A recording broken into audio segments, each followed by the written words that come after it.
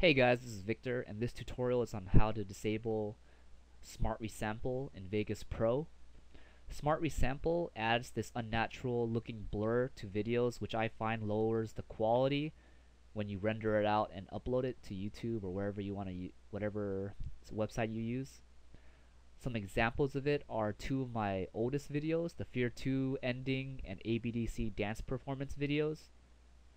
Um, if you do decide to watch it, you should notice that when the people are moving, when the screen shakes, or when you're shooting, there's this blur that kind of occurs and it doesn't look nice. So now I'm going to get into how to get rid of it. This is my Vegas Pro. I have video and audio clips added onto the timeline and it's pretty easy to do. All you have to do is right click your video file, go to switches and click on disable resample if you want us to do it for more than one clip you just hold control left click all the video clips right click switches disable. Same steps. Or you can use edit switches disable resample. Same thing. The problem is, is sometimes you have 40 to 50 clips and it gets tedious to hold control and left click everything.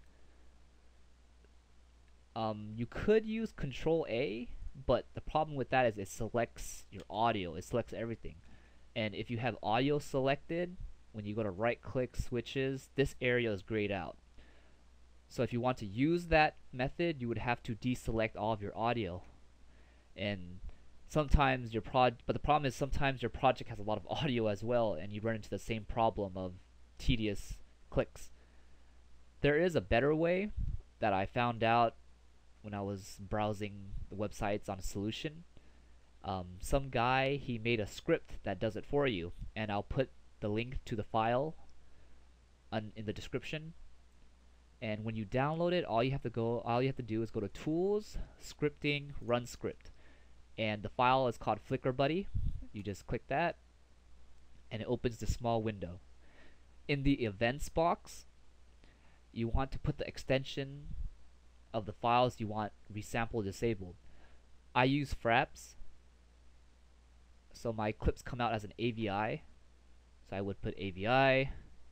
For reduce interlace flicker, I haven't seen a difference checking and not checking it, so I just left it checked. And disable resample should already be checked. And all you do is press assign. And now if you check your clips, oops, you check your clips, disable resample is checked. Uh, this one, same thing. For this top one, it wasn't checked because this top file is an MP4.